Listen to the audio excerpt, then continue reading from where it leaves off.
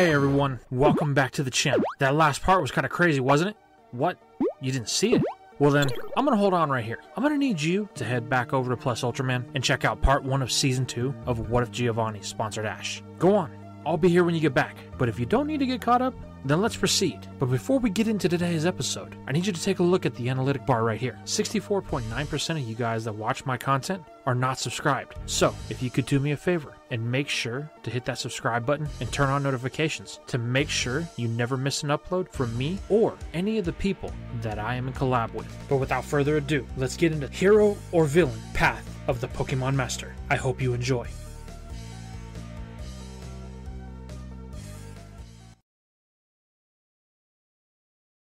Ash is dying, for surely this must be what death feels like. He is burning and freezing all at once, while powerful currents force his entire body into spasming. Then suddenly, there is nothing, and in contrast to the pain of the last few seconds, this void is bliss, and the young man briefly thinks that if this is to be his fate, things could certainly be worse. Then, just as suddenly, the world reappears around him, and he feels himself falling, before landing hard on cold tiled ground. In contrast to the ground, several warm things are pressed up against him now, and as Ash looks around, he sees a trio of feline figures. The first is Meowth, rubbing his head and groaning that he feels like his charm is gonna fall off. And the second is Mewtwo, burned, bruised, and barely conscious, giving Ash a wary look. And the last one is, is that the original Mew? Light then suddenly bathes our young hero, and as he shields his eyes against the artificial lights, he hears a flickering sound above him. Looking up, he sees that Mew is gone, before a female voice demands his attention. Turning to face the noise, Ash finally realizes that he is lying in a broom closet, and that the person speaking to him is watching him from its doorway. She is a girl only a little older than him with short purple hair who demands to know who he is and how he's breached her psychic barriers. Ash tries to answer, to tell her that he doesn't know who she is, where he is, or what she's talking about. But as it turns out, the act of speaking proves too much for him in his current state, and instead, he simply vomits, then passes out. What happens next could have transpired over minutes, days, or years. Ash doesn't know, as he occasionally finds himself floating in and out of consciousness. With each salvo into the waking world, the young man sees or hears tidbits which make no sense to his adult mind, but fascinate him all the same. First, he sees a new woman standing over him, green haired and lithe, telling the purple haired girl to seal some tower and move their guests somewhere she can give them a thorough medical inspection. Ash then thinks that he is still lying in the cupboard at this point, as the next thing he knows, he is floating on his back. He seems to be moving backwards, as new lights keep appearing over him, stinging his eyes, but he is being held firmly in place, unable to even turn his head. When next he wakes, he is strapped to a gurney, as the green haired woman's voice shrieks from out of view about needing more Ultra Balls or something. While all around him, blue psionic energy pulses as a rage that is not his own twists in his stomach. Why is this happening? Finally, he truly awakens in a large, plush bed, natural sunlight tickling his face, and this time there are no restraints on him, either physical or psychic. Sitting up, he sees that he is not alone, as the purple haired girl from before is perched on the end of his bed. When she sees that he is awake, she smiles genuinely, saying that it's about time he woke up, as he's been out for almost a week. Ash then groggily asks where he is and who she is, but the girl teases that he ought to slow down, otherwise he'll puke and pass out again. Which would be a problem since she's out of fresh clothes in his size. Regaining some sense of himself, at least for his wit to come back, he groans that she's not going to let him forget that, is she? To which the girl chirpily replies, nope, though chuckles that with instincts like his, maybe he's psychic too. That word, psychic. Psychic. Mewtwo! Frantically, Ash bolts out of bed, demanding to know where Mewtwo is, but the girl tells him to relax. Her mentor already captured it, so it can't hurt him anymore. Isolated with worry, Ash says that's not the problem, as that out-of-body fury grips him once more. Without another word, he runs on numb feet in the direction Mewtwo's rage seems to be tugging at him. Soon, he finds himself in a room with a single Ultra Ball resting on a table, and as if on instinct, Ash grabs the ball and begins hammering it into the edge of the table, with the intent to shatter it. Due to his white knuckle grip on the ball, each smash sends a jolt up his arm, but he doesn't care. Mewtwo's cries ring in his head. It has to get out. He has to get it out. Cracks start forming on the Ultra Ball, and the feeling of constriction Ash has had not even noticed gripping his heart begins to loosen. With a sigh, he lines the ball up for one last smash, but before he can bring it down, a stern voice tells him to stop. Looking around, he sees the green haired woman who demands to know what he thinks he is doing, letting that monster out. Angrily, Ash claims that Mewtwo isn't a monster, he's a victim of a monster, so he has to let it out. A much less angry voice then joins the conversation, that of Meowth, telling Ash to calm down so they can talk this out. It took Sabrina and all of her flunkies to catch that and that's while it's still banged up from New Island. Is he really sure he wants to let that thing out, with no guarantee that they'll be able to recapture it if anything goes wrong? Ash says he is, and Sabrina sighs. That settles things, before psychically shoving Ash into the wall. Telekinetically, she returns Mewtwo's ball to the table, then approaches Ash, telling him he's clearly been hypnotized by Mewtwo to do his bidding. With time, it'll pass, but for now, he's not in a rational state of mind, so he can't be trusted. Ash snaps back that he's perfectly rational, a claim which makes him sound distinctly irrational, but our hero has no cares for irony at this point, glaring daggers at Sabrina and demanding she let him down. Sabrina flatly refuses, saying right now every instinct will be telling him to do that monster's bidding and set it free. It's not his fault. He's just brainwashed. For the briefest of moments, Ash pauses, wondering if maybe Sabrina's right. That would explain this weird connection he and Mewtwo have. But then he looks into his heart, and in that moment, he knows that he's not under any form of mind control. Now, with the calm resolve, Ash tells Sabrina that Mewtwo's not controlling him, but the psychic doesn't want to hear it. Instead, calling for someone to fetch Annabelle so she can escort Ash back to his room. Ash uses this opportunity to look past Sabrina to Meowth, who is now perched on the table, and in this moment they are able to communicate without words, as Ash's eyes plead with the Scratch Cat to trust him. Without hesitation, Meowth nods. Then, with a flick of his tail, he nudges Mewtwo's ball off the table, causing it to hit the floor and shatter. At once, Mewtwo emerges, its rage palatable, and without hesitation or mercy, it reaches out a hand to physically lift Sabrina in the air, choking the life out of her for sealing it. The psychic specialist's powers pale in comparison to the world's strongest Pokemon, and so all she can do is gasp and gargle as Mewtwo applies more pressure to her windpipe. But before the final snap can ring out, Ash cries for Mewtwo to stop. At once, Mewtwo spins to face Ash, a psychic accusation of you radiating from it. Ash, however, stands firm, telling Mewtwo to let Sabrina go, since she's not the enemy. She's just scared. At this, the creature pauses. Then, with reluctance etched into every inch of its feline features, Mewtwo slackens his grip, allowing Sabrina to hit the ground, gulping in air once more. Ash now turns his attention back to Sabrina, asking her not to react, since they'll need to talk if they're ever going to solve anything. In a ragged voice, the gym leader curses Ash, saying he's doomed them all since this abomination is pure evil, and she should know, since she grew up with the evil that created it. The woman's mind then drifts back to the events which took place before Ash had even been born, an entire 12 years ago. And due to her incredible psychic power, she is able to gently give Ash, Mewtwo, and courteously even Meowth a perception into this, as she quickly flashes them through a series of images that at first make little sense to them. A house somewhere near Saffron City, a pregnant woman and a happy man. That is until a face they recognize appears, and it becomes quickly apparent what the story was about as the realization that Sabrina's father made up the fourth and final member of Giovanni's first set of admins referred to as the Four Rocket Boosters or the Command Quartet hits like a ton of bricks. Giovanni always uses connections and leverage he'd forged with those people later in important positions to force, coerce, or in some cases, like Sabrina's father, bribe them into service. A decision the ESP able father made not out of greed, but in order to provide for his family better than a gym leader's salary would allow one to at that time. And with Sabrina not being the only child their new family wanted, Giovanni had more than ample ammunition to motivate the psychic. The flashback stutters for a bit strangely, but Mewtwo nor Ash pay this any mind, wanting only to know more.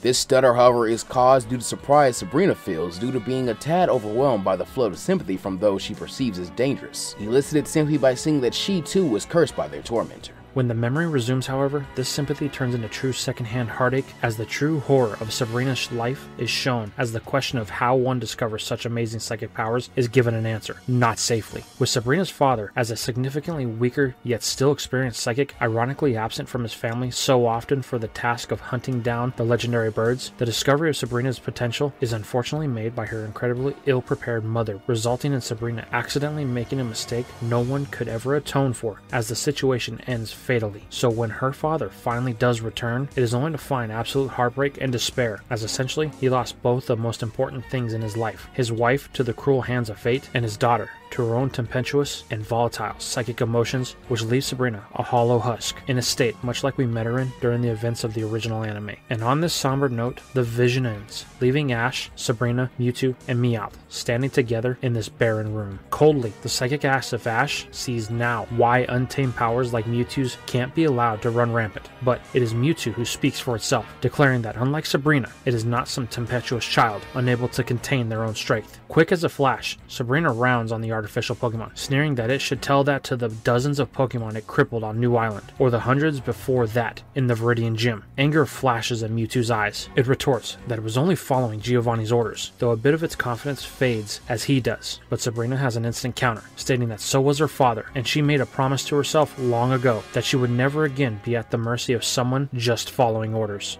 Psychic energy then begins to crackle around both Mewtwo and Sabrina as the latter draws out a Pokeball, clearly readying herself to battle and, if possible, reseal Mewtwo. However, before the first attack can be called, Ash runs between the pair, telling them to stop since they don't have to be enemies, and they both have a common goal to live freely and in peace. So why can't they at least try to get along? As one, Sabrina and Mewtwo both harumph, but neither attack, allowing Ash to continue as he elaborates that they also have Giovanni. Allowing Ash to continue as he elaborates that they also have Giovanni to thank for their pain in their past. He then explains that while they were being led to their cell on New Island, Giovanni showed him, Gary, Richie, and Silver the lab they had used to clone Mewtwo, even telling them with the exception of Gary, each of their genes have been harvested and included in Mewtwo's genetic makeup. This shocks the clone, who asks if this is why they have this strange psychic link, but Ash shakes his head, saying that he doesn't know, but doesn't think so, since Mewtwo is never linked with any of the others. His working theory is that when Krookodile broke Mewtwo's armor, all the psychic power and emotion that the armor had been keeping in finally had an outlet, so maybe it rushed into the first person Mewtwo laid eyes on, which was him. At this, Mewtwo only sighs that whether right or wrong, it does nothing to change the situation they're in.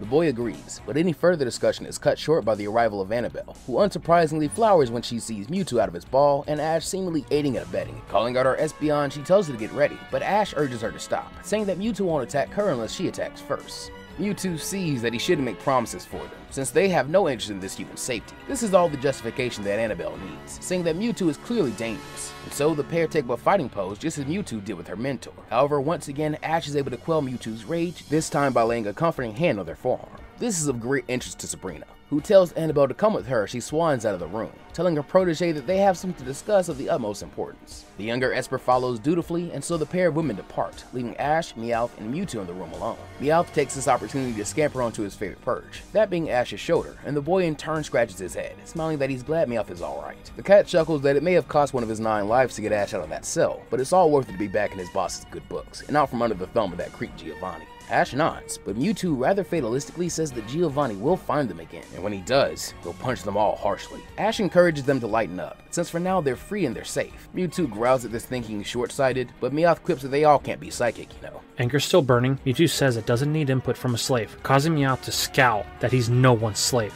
Coolly, the psychic Pokemon asks if he gives the Scratch Cat commands and if Meowth obeys those commands. Meowth nods that he is in that case, and Mewtwo coldly states that in that case, he is a slave. Ash protests that his Pokemon are friends, not slaves, with Meowth agreeing that Ash treats him and the others with love as equals. Mewtwo scoffs that a prized slave is still a slave nonetheless. Then, without words, floats away. Despite losing sight of the psychic type, their connection allows Ash to know where it has gone, and so after giving it some time to simmer down, he and Meowth ride an elevator down to the lower level. Here, they find Mewtwo hovering in the center of the battlefield, deep contemplation etched on its face. Ash asks what is wrong, and Mewtwo, temper having cooled a bit, says that he's trying to understand the appeal of battle. Ash is confused, saying it's battle before. In fact, it's an incredible battler, but Mewtwo rebuts that in the past, when it battled, it was either on the whim of others or like on New Island for the sake of survival. The idea of battles as a sport, a form of entertainment, that is what eludes Mewtwo, just as much as the claim that a trainer can both love their Pokemon and subjugate them for battle. Showing a bit of maturity, Ash recognizes the validity of Mewtwo's point, as his experience with humanity in general has been overwhelmingly negative.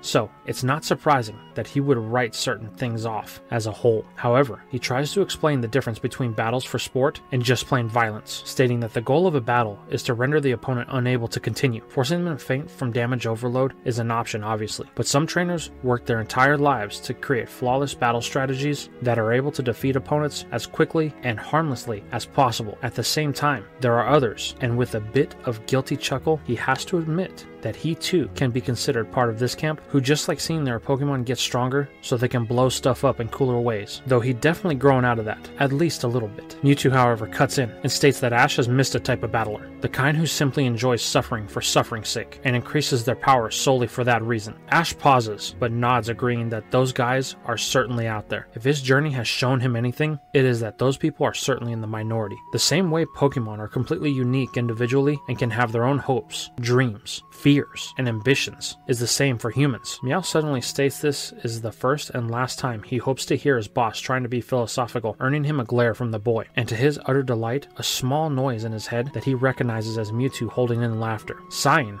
Ash says that he isn't asking Mewtwo to seriously work to develop some weird, undying love for all of humanity, just to judge humans as individuals the way we did with Pokemon. The clone, after a moment of thought, admits that this is an acceptable request, but makes no promise. The trio fall into silence until Mewtwo seems to get bored first and suddenly asks Meowth why he walks and talks like a human. The Scratch Cat is all too happy to give his backstory, though while he does, Ash begins to think about all the things he's been saying, and suddenly jumps to his feet, dancing around excitedly as he nearly does a cartoon character peel out while rushing off to find Sabrina, having totally forgotten the opportunity being around her presents. Though after wandering the halls of the battle tower in vain for a while, he begins to wish he'd gotten more out of his psychic link than just the ability to sense Mewtwo. But then he recognizes that he really hasn't tried to do anything more. Closing his eyes, he begins to focus, and he could indeed still vaguely sense Mewtwo growing closer to him no doubt curious as to why he got so excited. But now that he's actually feeling for it, there is something else, however. Nothing as powerful as Mewtwo, obviously, but still a presence he can sense within himself. Focusing on it harder causes him to begin to strain a bit. Then suddenly, he hears Meowth calling for him as he begins to scamper up his shoulder. Unfortunately, this startles Ash, causing him to loosen his grip on the presence and jump in surprise, causing the sensation he felt to reveal its origin at the worst possible time, as he accidentally ends up passing gas right into Meowth's face. The Scratch Cat, though, noseless suddenly stiffens and reels away in disgust while screaming, comedically resulting in his both bonking his head and biting his tongue, causing him to angrily begin cursing both the hard floor, his hard teeth, and his unhoused trained boss, while he lisped that Krookodile and Charizard have better manners than him, causing the two partners to begin bickering in a ridiculously childish way until three voices in tandem ask what on earth they are doing. Blinking, the two look to see Mewtwo, Annabelle, and the still fairly intimidating Sabrina currently staring at it. Whatever this is, and causing Ash to sweat drop and lamely explain his experiment gone wrong, there is a tense pause until, to both Ash and Meowth's delight, the three powerful psychics slowly burst into a roar of laughter, finding it refreshing to hear Mewtwo relaxing first and foremost, but also recognizing at some level the small showing of Meowth and Ash's genuinely close yet, at times, silly bond may have improved Annabelle and Sabrina's impressions of him. However, as the laughter lingers a bit too long, his delight tarnishes slightly, and he fumes that it isn't that silly of him to think that he may be a psychic now after all that had happened. Regardless, he levels a finger at Sabrina while producing his badge case and showing its contents, stating his challenge for her gym badge as Ash Ketchum of Pallet strongest trainer to be sponsored by the great Jit. He pauses. A scowl crosses his face, and all present notice his vibe wavers slightly until he closes his eyes and takes a deep breath, skipping the fanfare and stating the basics. He wanted to be the best, so that meant going through her. Sabrina eyes the boy up and down before looking to Mewtwo, whose good mood seems to have wavered the near mention of Giovanni. It doesn't take her long to realize Ash's request is not as selfish as it seems, and a smirk crosses her lips as she accepts her challenge, but states she will only battle him on one condition, making it a one-on-one battle with their strongest Pokemon. No gym leader limitations either. This is the Battle Tower. The rules of Saffron City's gym does not apply here, though she can bestow one at her discretion. Without hesitation, Ash gratefully accepts, having hoped she'd say something like that. Annabelle, in genuine interest to witness such a battle, actually goes to the trouble of full on having Espeon help her teleport their group to the battlefield, a bit rudely leaving Mewtwo on his own, since she for one wasn't sure if he wanted to watch, or if he would be insulted by someone else doing so for him without asking. However, to her surprise, the clone appears in the battle area soon after, and mutters something about trivial violence in their minds as he takes to floating far above the furthest end of the viewing stands, while lazily leaning back and turning kinda halfway so he could glance toward the battlefield or stare at the apparently more interesting wall. Was it just Annabelle? Or was this intimidating creature known as the world's strongest Pokemon beginning to seem more innocently childish the longer he was around this boy? Pushing the thought aside, she announces herself as the battle's referee, then quickly restates the terms of the battle, then has Sabrina as the gym leader bring out her Pokemon first. The hero of Kanto announces it as her first and most mighty friend, the great and powerful Merlin, as an Alakazam takes the field. Not from a Pokeball, but by teleporting into the room from who knows where, as she goes to the trouble of dusting snow off herself, quickly alerting Ash that these two share a bond strong enough for Sabrina to be comfortable with letting her partner roam free, and then teleporting in at a moment's notice like that. This is a whole new class of speed that Ash has never dealt with, outside of maybe Mewtwo, that is, and this excites him. Hailed by a call of I choose you, Krookodile slams onto the field with a heavy thud and crosses his arms while sizing up the rather diminutive psychic type in front of him, and then glances back to give Ash a toothy grin as if to ask if they're finally back on the grind for their main goal. The trainer smiles back and asks for his friend to make sure he enjoys his battle, just for the sake of it, as he'd realized that ever since evolving in Viridian Gym, his first Pokemon hadn't actually had a casual battle. Just like he'd been saying, they're all free now, so it's time they start acting like it. Then grinning, he called for Krookodile to go as wild as he pleased, encouraging the Croc to where he eagerly dashes forward just as Annabelle starts the match. Exactly as he'd feared though, Sabrina and Merlin instantly have the advantage of non-verbal and extremely fast commands, as the Spoon Wielder pops out of existence and reappears directly in front of Krookodile in the blink of an eye, now accompanied by an orb of orangish-white energy formed and charging between her spoons. Ash and Krookodile's eyes in unison widen in shock, as it's already too late for either to react, leaving the Croc open to the blast slamming into him point blank and kicking up a cloud of dust. Sabrina then verbally reminds Ash about her warning before the battle, then bragging that that was one of Merlin's specialties, the instant teleportation focus blast, confirming for him that winning this battle means beating someone faster than the speed of thought. Since as a gym leader and a protector of this region, Sabrina must ensure that this boy is up to snuff for the responsibilities the power he has attained comes with. As the smoke clears a bit, Ash grins that he wouldn't have it any other way. The trainers are finally able to see that Krookodile is currently glowing with a similar colored energy of revenge, and had not only resisted the attack extremely well, but nearly gotten a dangerous hold on such a frail Pokemon. Thankfully for Merlin, Sabrina is capable of multitasking, having had her partner erect a Reflect Barrier directly after launching her first attack. Both trainers then take on wild grins at the challenge the battle presents, before both ordering their follow-ups of Stone Edge and Dazzling Gleam, illuminating the gym with flashes of the Pokemon silhouettes among the jagged rocks and energy blasts being lobbed around. Mewtwo is disinterested. He really is. However, he can't help but sneak glances constantly. It's just too hard not to. How? There isn't any mouse between the Pokemon or their trainers. Even that dark type creature, whose mind was already incredibly difficult to sense, was clearly only having fun. They all were, and strangely, though the sensation was foreign to him, watching the battle seemed to cause the same from him. Or at the very least, he is able to recognize the allure of battles, as he witnesses the clashing of different ideologies of fighting, or battle styles as Ash had called them, becoming especially engrossed with the moments where the combatants create an infinite amount of possibilities as to what they can do next considering so many factors. Also the admirability in how each Pokemon Pokemon and trainer duo have worked to compensate for their weaknesses and exemplify their strengths as a team. Kinda cool, ain't it? The clone suddenly turns his gaze back to the wall he'd been trying to stare at to see that Meowth had actually left Ash's side in order to very dangerously scale it in order to talk to Mewtwo. While training has made the cat stronger and more athletic, he is still not meant to scale a perfectly 90 degree metal wall, and he quickly begins to slip and lose his balance, if not for Mewtwo sighing and levitating the cat in his oar to view the battle alongside him. First off reminding that he could have way more easily spoken telepathically from the ground,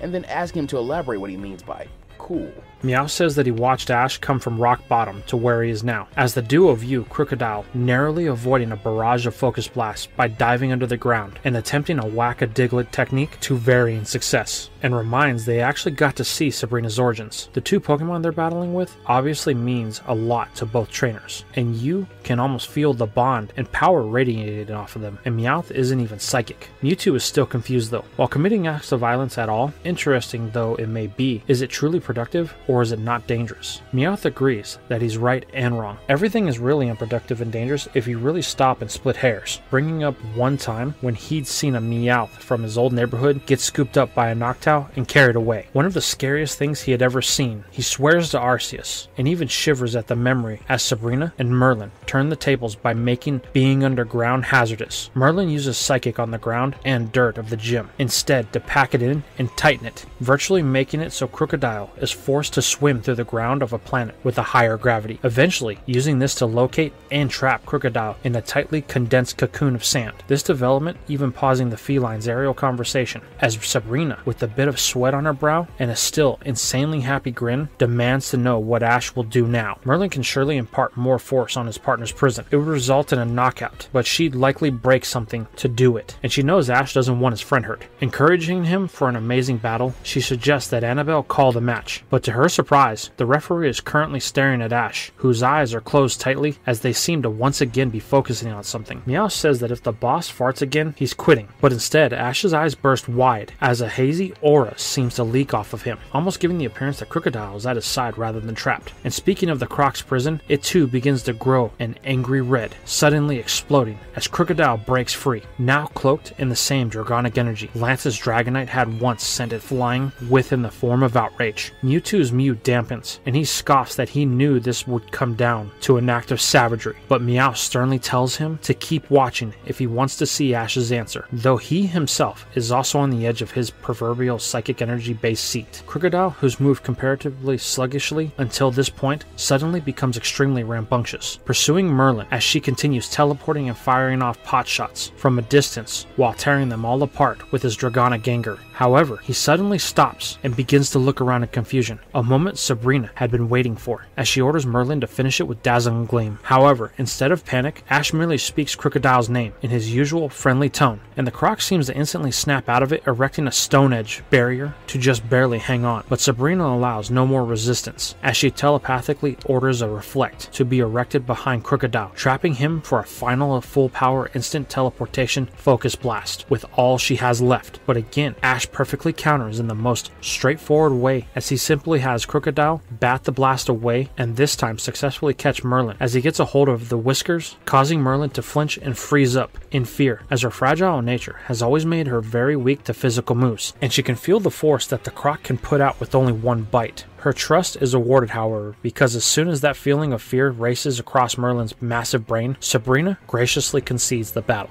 In total shock, Mewtwo questions what just happened. Krookodile shakily drops to one knee, and the energy around Ash fades without his notice while he runs to aid his friend. Meowth admits that he has no idea, and then points out that life got a lot weirder when Mewtwo got involved, so it's a bit unfair for him also to be in the dark so often. But what he does know, if there was one lesson that Ash taught him, it was that true strength is the power to keep going until the very end, no matter what. So whatever was happening now must be a product of that. There are bad people in the world, and more often than not, they hurt good people and force them to do violent things just like the bad people. But the cat also recognizes that there are good people who just want to know their own strength. To Meowth, that had always meant that violence is a part of balance, in a way that peace really can't exist without it, allowing him to circle back to the story of the Meowth and the Noctowl, and pointing out that inevitably Pokemon have to commit certain acts of violence as well in order to survive. They'd done so before humans existed, and would continue to do so even if they were to disappear. As he watches while Ash is awarded the Marsh Badge, Mewtwo muses over Meowth's wisdom, before floating the two of them back to the ground.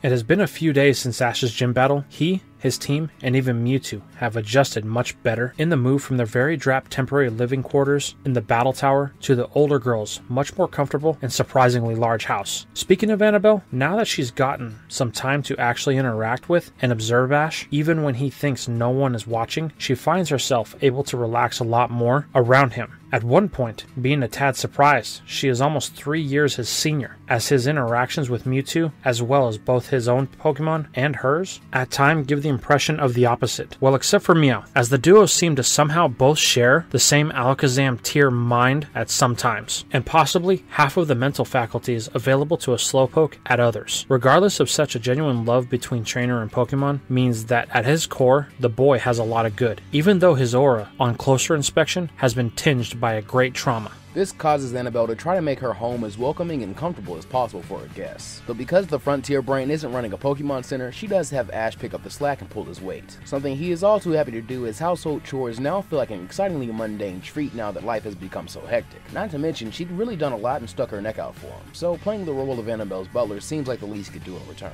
But other than a few responsibilities, he is carefree and can simply relax and do things like play with his Pokemon or take care of his egg, which, now that he'd gotten the go-ahead to keep it from the Royal That was Brock, he had already begun to become very attached to and protective of. At one point, even being caught whispering my precious to it over and over again in a very weird voice by Annabelle. It, however, isn't all relaxation, as Annabelle is, for all intents and purposes, currently the master of his training as well as his temporary home, having been tasked by her own mentor to serve as a guide for the younger boy. Their goal being to help him connect with Mewtwo in such a way that his claim of being able to keep the clone Pokemon in line would be more realistic. This work is slow at first, as the clone Pokemon initially takes a lot of offense to the idea of being trained, however, Annabelle specifies that this training isn't about any kind of strength or power up or obedience or something that menial. It's about making sure Mewtwo can form a non-antagonistic connection with humanity. Both Ash and Mewtwo currently stand on separate islands, so to speak. So their goal, separate to Sabrina's and her own, is to build a bridge. When asked how exactly they do this, Annabelle shrugs and admits she can't tell them, since it's different for everyone. After face falling and being asked by Mewtwo what he's doing, Ash demands to know what Annabelle means, and she admits that this goal isn't one she can really help them achieve, since she has no idea what it will take to earn Mewtwo's trust, and more importantly, isn't the one he seems to have given such an opportunity to.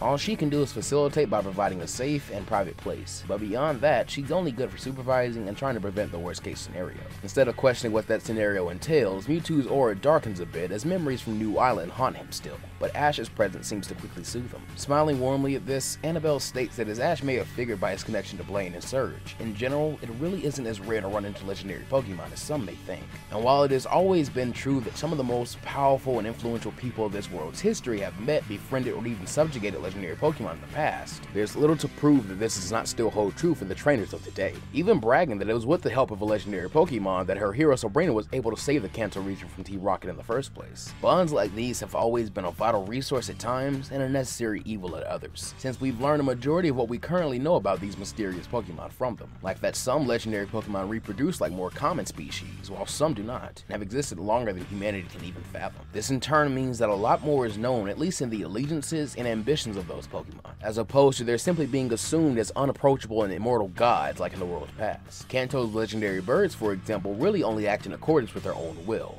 fitting for kings of the sky to act freely and roam the world as they see fit. Or in the case of the numerous sightings of Johto's often deified phoenix or guardian leviathan of the world seas, they overwhelmingly recount those creatures as being just and benevolent, even aided by the legendary beasts which roam Johto's lands and were once feared and outcast by its people, that are now beloved as guardians by many around the world. Whereas with cases like the Titans currently lying dormant in the Hoenn region, they are said to only be motivated by their goal of expanding their domains, and humanity nor other Pokemon have really ever interested them. She then digresses before going on a tangent about all the world's legends to summarize that Mewtwo is a complete mystery to everyone, so anything Ash learns will be something the world learns, and any connection he makes will also hopefully be one the world makes with Mewtwo. Above all else, understanding between parties is crucial, and may be the only key to changing Mewtwo from the villain that once threatened Kanto to a hero that may be just what it and the world needs. The clone huffs at the lecture and asserts that he still finds this demeaning, asking if humans ever hold one another captive when they seek to make bonds. The brain apologizes, but for now, she, Lady Sabrina, and all of her other Esper gym trainers would be forming a barrier to keep Mewtwo confined to only her home or the battle tower, at least as long as they can while the creature continues to heal. But she chooses not to mention that. Sighing, he turns to Ash and expresses that he does want to learn more from him. Their bond by estimation couldn't be a product of merely the random alignment of DNA or, or coincidence. There was something he could discover only through Ash, to which the preteen nods and extending his hand accepting that it was certainly true for him as well. This change in attitude makes Mewtwo much more willing to try things Ash's way as they begin to go smoother with each day that passes. In every new experience with Ash, the discovery of fun is a true joy for Mewtwo. Like the time Ash requests he take him flying, as the boy wondered how it differed from doing so with Fearow or Charizard, though both of them make a discovery from this experience. For Ash, he confirms that Mewtwo really does operate on an almost entirely different concept of speed, and from Mewtwo, he learns that Ash can turn a great many shades of green. He also learns what a practical joke is after Ash convinces him to try using his teleportation to bother Annabelle while she is at work. Thankfully, things like this also lead to a vital lesson for the clone of Mew, such as why it's rude to read one's mind before asking, or to suddenly pop into a room without checking if it's okay first. It is through these shared experiences that indeed a bond is formed, and as Annabelle said, it was done on their own terms. However, she does state that their training still has a final step. She doesn't think she's ready to give them yet. Not to mention, it slowly becomes very clear that Mewtwo is enjoying applying some of the things he's learned from watching Ash and Sabrina's battle in training with Ash's team, and more importantly, seems to take genuine pride in trying to help each of them bring out their powers to their fullest potential. This development does, however, bring to question a serious issue. Ash is still unable to access Gloom from her Pokeball, as she is his seventh member, and though it seems far from hatching, his egg will mark his eighth when that time does come. If Giovanni won't be his sponsor any longer, he'll need to find someone else to take care of his Pokemon when he isn't traveling with them. The issue is that's both expensive and risky. As much as he'd like to, it would be an unwanted burden to ask Annabelle or Sabrina to do so, seeing as how they'd already done much more than enough for him. And in his opinion, both his mom and Professor Oak were out, since it's always possible the Rockets may retaliate against his family, Pokemon, or friends to get him, and so he needs to stay away from them until he gets a solution figured out. Meowth, sensing this,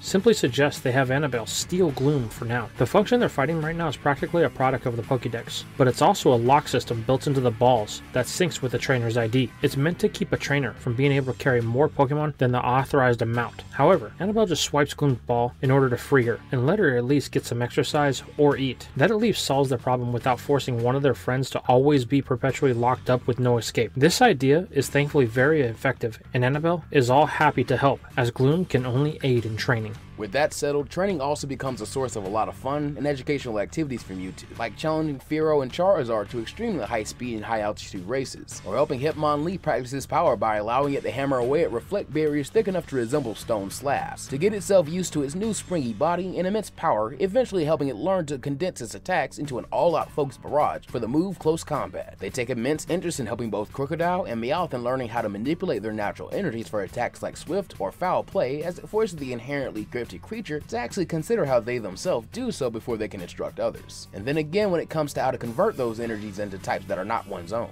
As a clone of a Pokemon that can learn any move, Mewtwo seems to be an amazing teacher for this, leading to some interesting developments in terms of Krookodile's mastery over Revenge and the newly acquired Outrage, and to Meowth's truly mastering Swift and learning his first real attack since Misty's tutoring of it. Krookodile as a dark type being around is also a big help, but Mewtwo is able to show Meowth how to convert the power of his slashes to the dark type, using his negative energy rather than the naturally positive that his normal typing usually calls for, in order to perform a Night Slash. This development for the Scratch Cat also leads to Mewtwo recognizing that Meowth has a hidden power he has yet to tap into, and expresses his desire to learn more about it. Ash and Meowth wave this off as likely just being Meowth's super rare ability and technician, but Mewtwo doesn't seem convinced. Gloom presents Mewtwo the challenge of dealing with a creature with confidence issues, and to Ash and Meowth's great delight, their friend seems to get a very large confidence boost when Mewtwo assures her fears of an undesirable appearance are unfounded by mentioning that she is as she was intended to be. As long as she is happy with herself, then all is good, and Ash didn't even have to teach him that one either. This seems to invigorate Gloom into accepting herself, at least by some degree more than she had for a very long time. Ash's measure, even accepting that there really is beauty in the poison typing, seems to have positive effects, as their pretty poison attacks seems to gain some serious upgrades, with the demolishing of the mental blocks no longer being limited to a mere poison powder, but now becoming a much more effective use of the move Toxic, that spreads further than a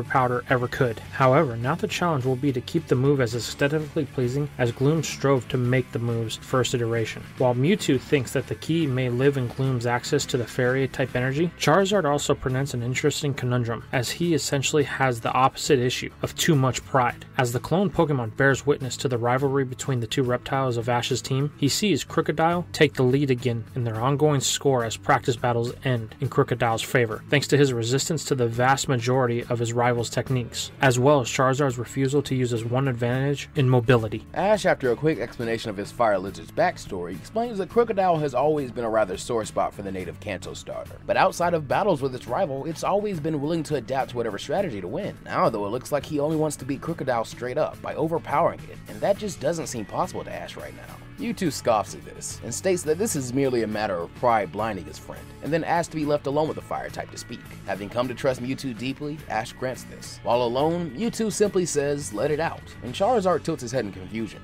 but Mewtwo again says to let his emotions out, revealing that he doesn't need to read its mind to know never beating one's rival even once must be really frustrating. So he again prods Charizard to let its feelings out. The lizard simply blows smoke unimpressed. But after a moment, hot tears begin to well in his eyes, and he trembles with frustration and feelings of inadequacy, and then suddenly releases a bottled up emotion filled flamethrower right into the sky, as they drip down his face before evaporating, while Mewtwo expresses that he is sure Ash has never made the lizard feel as if he will be defined by his wins or his losses, but can sympathize that his former trainer seems like the kind of person he once assumed all humans were. He then has to ask the question, does Charizard dislike Krookodile? And to this, the lizard vehemently denies and passionately roars the opposite, as he has a great respect for the Croc as a warrior. He just doesn't want to be the second to Nabberry. Mewtwo finally makes a happy noise and asks Charizard to close its eyes and to focus on that feeling when it thinks of Krookodile. Instead of its frustration, focus on that respect and admiration, and then reach out towards his goal. Having come this far, Charizard obeys and tries to do so, focusing his mind on his goal of surpassing his rival rather than his anger or frustration with his own weakness. Mewtwo then hums again and tells Charizard to quickly open his eyes, and he does so, only to see his extended claw is currently glowing with a brilliant blue as Mewtwo congratulates him just as it fizzles out, suggesting that if Charizard can get a handle on Focus Punch, then he'll have an ultimate weapon against Krookodile to even the playing field with. He also leaves the lizard with the advice to not disrespect his rival by not using its wings since that technically wasn't going all out. And with this guidance, Charizard actually scores his first ever win over his rival in a true upset bout during one of their spars, and thus nearly tying their record back up. And finally, it's Psyduck, who Mewtwo takes the greatest interest in, stating that he, above all of Ash's Pokemon, has an insane amount of hidden potential just waiting to be tapped into. But when Ash asks if this is really the case, he receives no response, as the clone and the dopey duck simply stare blankly at each other. And then they keep staring, for days, to the point Ash and Annabelle get worried. Though, about three days into this, Mewtwo finally moves again, though it is to double over in laughter, as Psyduck does the same beating and kicking on the ground while laughing in hysterics. Ash asks what on earth is going on on as Mewtwo is confused how he can't tell the two of them have been in extremely intense training, remarking if he were to try this kind of mental training with any of Ash's other Pokemon, they'd simply had done more harm than good, while Psyduck here has taken it in stride, stating he's a wonderful student. Sweat dropping, Ash awkwardly states that that sounds great, even though to him, it just looked like a three day staring contest. He then questions what's so funny, causing Mewtwo to chuckle and Psyduck to go into hysterics again, while Meowth and Ash glance at one another. Mewtwo apologizes, but admits that Psyduck is quite possibly the funniest creature he's ever met, Pokemon or human, and that he told the clone Pokemon a joke, which was truly too funny to control himself. This intrigues Ash, and he asks to hear the joke, which causes Psyduck to sweat drop and shrug in embarrassment. Mewtwo dents to the duck's plight, however, encourages him to go ahead and tell the joke to Ash in the way they'd been practicing. Ash tilts his head until a nervous and nasally voice recites a rather vulgar joke in his mind, stunning Ash for several reasons. Psyduck quacks a nervous chuckle as Ash looks between he and Mewtwo and takes a deep breath while pinching his nose, stating that number one, he's very proud, and number two, he needs them both to never, ever say any part of that joke again, especially around Annabelle, Sabrina, Misty, his mom, really just any woman or anyone ever. He then glares at Meowth, who is all of a sudden whistling casually, as he has a strong hunch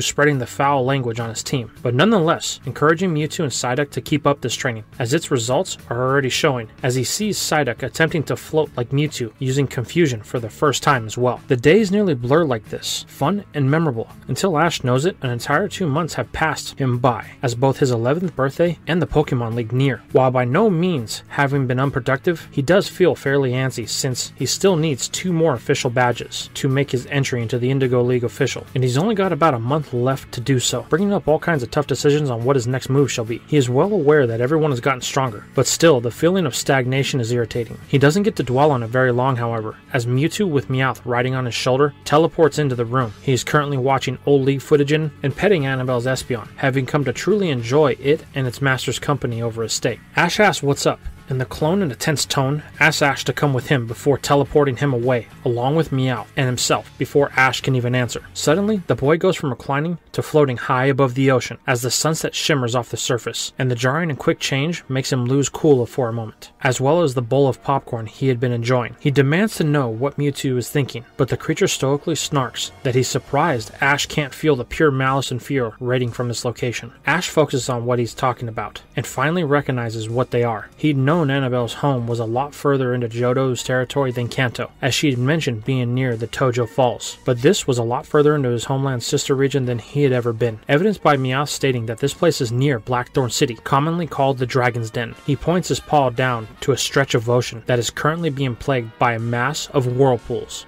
When the last lights of the sun disappear over the horizon, a small shipping vessel sails full speed towards the nest of whirlpools. Upon a closer look, its occupants are a small crew of rough and rugged looking sailors, accompanied by very obviously ill treated Pokemon, as the ship masterfully navigates the whirlpools like it's done so hundreds of times before. Then, all of a sudden, its crew begin to throw nets and harpoons into the ocean depths, and as soon as they do, the ship comes under attack by a large group of Pokemon lurking under the waves. Ash, horrified by this brutal sight, asks what they're doing, but he is all too aware even before Mewtwo furiously growls poaching in his mind. Even Meowth is completely serious and disgusted by the sight. As to their horror, nets full of small and slightly larger blue water type Pokemon, Ash thinks a Horsea and Seadra are tugged onto the boat's deck. But these creatures don't seem to interest the poachers, as they are only roughly inspected before being thrown back into the water. However, when they haul up two much larger Pokemon in the form of the fully grown Kingdra skewered by Machoke thrown harpoons, their goal becomes very clear, as the crew begins to cheer and strip the creatures of their valuable dragon scales, while their crewmates defend them from the last currently remaining and very enraged Kingdra currently leading the Horsea and Seadra to defend their home. Ash furiously demands to know why Mewtwo hasn't acted, but Meowth scolds him, asking how he can't see Mewtwo is only holding himself back because of everything they've been through. This tension causes Mewtwo to admit that this event has apparently been going on for a while, though the clone had purposely tried to ignore it in hopes that the Pokemon could defend themselves. Apologizing profusely, Ash curses his own selfishness at having been so lazy. Here Mewtwo is busy being babysat with him until they complete Annabelle's test, when he could be out in the world doing a lot of good. After a moment, the boy steels himself and asks to be taken down. The sailors are then shocked by the arrival of the trio, as Ash immediately asks Mewtwo to teleport all these men's Pokemon away and inform them they can do as they please from now on. As all their leverage suddenly disappears, one of the men threatens the boy by pointing his scaling knife at Ash. But Meowth instantly snatches the tool with Thief and then casually cuts it into pieces with a single slash, causing all the men to lose heart in the face of this insanity. As Ash asks one question, can they swim?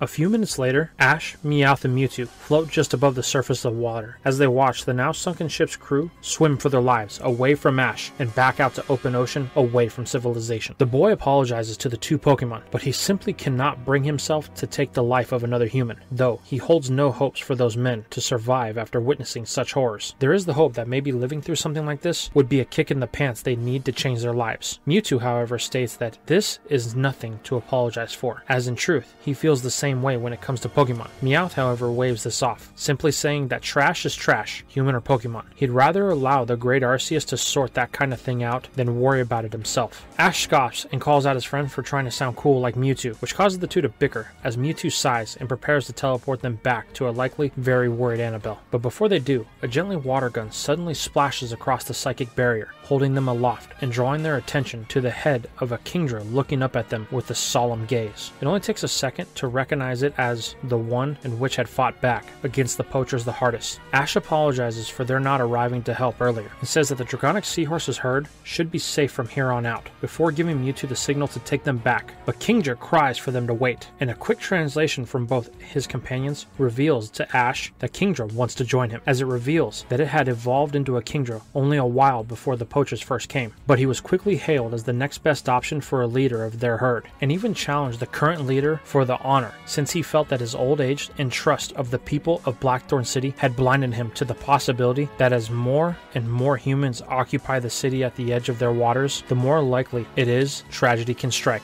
He was even convincing enough to get a great number of his herds, Horsea and Seadra, to support him, but was always unable to defeat the Elder, whose experience far outclassed the young Sea Dragon. After presenting resistance to remaining in the Dragon's Den and challenging for leadership one time too many, Kingdra was banished from the herd, though it still stuck close by. It spent its time trying to track down and defeat the poachers, but was never strong enough to do so without putting his own life in danger and retreating in fear. Now understanding a bit of Kingdra's shame, Ash asks how it feels about the former chief, as he can only assume it had already fallen to one of these raids. The boy and his team look on as Kingdra's ruby eyes soften, and it tells Meowth that now it just feels sorry for the old leader. Disagree or not, he had always done his best for the herd and should have been allowed to live out the rest of his life without the responsibility of its protection. It is then Mewtwo who asks if Kingdra is really alright leaving when the herd needs a new chief now more than ever. But Kingdra instantly says that it is, explaining that his first and last decree as the new chief was for the herd to migrate from the Dragon's Den, as a home less famous for having something valuable is objectively safer. As of now, though, Kingdra feels he's too unfit to lead anyone, and would much rather pledge his power to a proper chieftain. It then uses dragon-type energy to levitate out of the water and bow its head to Ash as a gesture of surrender to capture. Ash looks between his companions for input, as Meowth jokes that he won't be the only one calling the kid boss, while Mewtwo expresses that he will be very disappointed if Ash refused such a heartfelt request. So with that, Ash produces one of the Ultra Balls that Sabrina had originally given him to steal away Mewtwo if need be, and adds Kingdra to his team as his ninth addition. With a sad smile, he sighs it looks like he caught a Kingdra, as Mewtwo teleports them away from the scene. Upon returning back to Annabelle's, filling her in and calming her down, Ash reflects on his day, and suddenly gets the urge to show Mewtwo the opposite side of the spectrum of humanity, asking if he thinks he can help him check in on his friends and family. Curiously, the clone agrees, and along with Meowth, Psyduck, and Ash's egg, they sit and quietly link their minds, as Mewtwo uses Ash as a router of sorts to basically link back to those he has connections with, allowing him to project his and Ash's consciousness into minds of others. The egg had made Ash think of the man he thinks of as an older brother, and so his first vision is of Brock, currently hard at work at mixing medicines together with Bulbasaur under the watch of an old, sagey looking man with a sleeping Venusaur.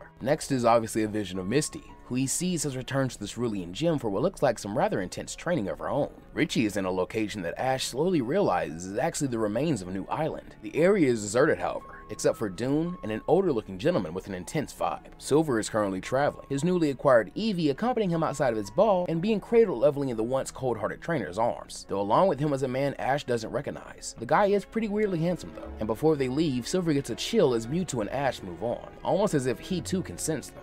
Gary is actually just packing a bag, which is fairly mundane. However, before Mewtwo flips the proverbial channel, Ash stops him as his jaw drops when he sees Lance walk into the same room as the boy before the two speak and leave together. Making Ash a bit jealous, Gary seems to get in his own little road trip with his hero. He checks on a few others like Giselle, AJ, and the like, but this is really all in an effort to stall himself from checking on the one person he had been most worried about his mom. The vision of his home is a somber one. The house is in a state of dishevelment. Ash wasn't even aware his mother could endure, though the reason is very clear, as when he lay eyes on his mother, he can instantly tell the news of what happened to him has been devastating without even looking into her vacant and soulless eyes. This is traumatic enough to cause Ash to scramble from the room in order to reach Annabelle's video phone. He'd refuse to use it up until this point, in fear of making contact with his mom could end terribly, but he cannot and will not leave her in such a state. He calls, but there's no answer. On his second and third tries, the result is still the same. All are ignored until the fifth, as he finally gets through. And there she is, his mother, sat across on the other side of the screen and is now able to see him, alive and well. His voice dies in his throat as he struggles with what to say and wonders what she'll say. Will she be mad? Will she cry more? Or think he's a ghost? Will she notice how much bigger he's gotten? But what he receives is nothing, just an empty, blank look. Scared by this, Ash begins to frantically call for his mom to respond until a chill runs up his spine as a hand lands over her shoulder off screen. Then slowly, Giovanni himself steps from off the screen and sits next to Delia with a very self satisfied smirk as he casually drapes his arm across the catatonic woman's shoulder and smugly greets Ash with the friendly yet somehow menacing, Hey kiddo. The boy's eyes widen as he shoots from his chair in anger, nearly screaming the man's name. However, a pair of yellow eyes peering from behind Giovanni and his mother stop him in his tracks as he realizes that Persian could do a lot of damage if Giovanni so pleased. Balling his fists, he sits back down and through gritted teeth demands to know what Giovanni is doing there, what he wants, and what has he done to his mother. The mobster waves the boy's anger off, stating that hypnosis is far more effective than some realizing. Putting opponents to sleep is one thing, but making them obey your every whim is an entirely different one. But the sight of the man's hands touching his mother's face in such an intimate manner causes a statement to cross the boy's lip he thought he would never say. I will bury you, old man. This seems to spoil Gio's fun, as he rudely shoves Delia away and gets to the point, declaring that no matter what Ash does, he is his property, pointing out that he would have been a fool not to have any contingencies for dealing with a bunch of kids and teenagers, hence why his contingencies have contingencies. As he asks how Mewtwo is doing, Ash's eye twitches as he tries not to reveal his cards, but the boss sees through this and takes his silence as confirmation that the clone is not only doing well, but he's gotten close with Ash, something Gio is unsettlingly pleased to learn as he raises a tablet in his hand and presses something on the screen. Suddenly, a searing pain begins to flare in Ash's arm, and he is forced to clutch it in agony, as horrifyingly, his flesh begins to bubble and swell uncontrollably, the pain being potent enough that Ash falls out of his chair and writhes on the floor as he almost wishes someone would just come along and take the arm off in total. But as soon as it comes, it goes, and when he looks back to it, his arm appears as if nothing has happened. Shakily, the terrified boy stammers out a demand for his former mentor to explain, and the cunning man is all too happy to asking if Ash really thought that he used his and the other boy's DNA to fill in the gaps of Mewtwo's eroded cells for the fun of it. That too, obviously, was a contingency, and a double-sided one on that. This is the Rocket Boss's failsafe. At any time, he can activate a process which will cause the cells of those connected to Mewtwo to seek the clone out and be absorbed by him. That way, he would always have a way to locate and subjugate the world's strongest Pokemon weapon, and the fools unlucky enough to be tied to it will forever be forced to be his loyal executioner, wielding that weapon to carry out the will of Team Rocket. Tears begin to well in Ash's eyes. His sense of freedom is going all too quickly, but his sponsor assures him that he would never do that to Ash, obviously, in the faux warm tone that he used to recruit him, because he knows it would be so much more effective to do it to Richie and Silver, slowly, painfully, and while he was sure that Ash would see every single moment of it. And while he's at it, he may as well throw the kid's precious mother into the mix as well, since in his eyes, disobedience warrants the harshest of punishments. Ash hangs his head in defeat as tears flow down his face, and shakily, he asks what is needed of him. Kicking himself and subconsciously, he slips back to calling him Mr. Giovanni. This earns him a pleasant grin and a condescending query on what was so hard about that, all while the man disrespectfully toys with his hypnotized mother's auburn hair. The boss's orders are quite simple. He wants Ash to take some time to clear his head and really think about his conversation, and what he has to gain by cooperating, as well as what he has to lose. Having guessed that the boy would have already spent his time training, he reveals that he's arranged a little present for his protege since his birthday is coming up. He orders Ash to take a small vacation, and mentions that he's already sent him some gifts. A ticket to a cruise ship owned by an associate of his, which puts the S.S. Anne to shame, and a brand new Pokédex. One he hopes Ash will be more gentle with, seeing as how he'd even gone to the trouble of disabling its home return feature. Meaning with it, Ash can switch his on-hand team of six on the fly with but the press of a few buttons. Much more than he currently thought his ungrateful student deserved. With that, Giovanni simply says that they will talk again very soon before he cuts their communication, leaving Ash alone to process all of his thoughts as his now thoroughly shaken spirit questions what the future will hold.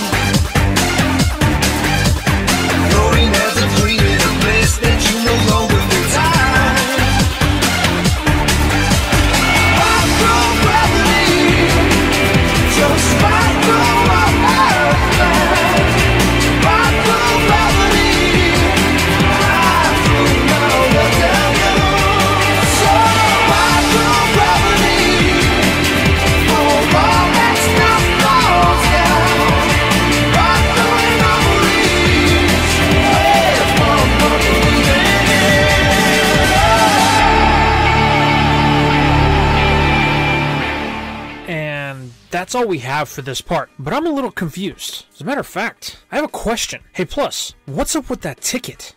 You mean the one Gio gave Ash? Yeah, it's strange that he would want to send him on a vacation with everything that's been going on. Don't you think Giovanni would be afraid Ash would take this chance to run? No, come on, Ro. You know Giovanni is way smarter than you give him credit for. The guy literally always has a plan. Even if we don't know exactly where he's shipping Ash off to, we can assume be big. I don't know. I just don't get it. Something seems off. I suppose I knew you wouldn't be patient enough to leave this a surprise, so we may as well have them come on out and show themselves. Yo, newbies, you're up. I guess that's our cue. Hey everyone, I'm Dex Comics. And I'm Pickled Dill. Plus and Ronin have invited us to join them in taking the next big step for the GSA universe. A brand new story set in the Hoenn region, featuring characters you know and love like Ash and Meowth, as well as a few new faces.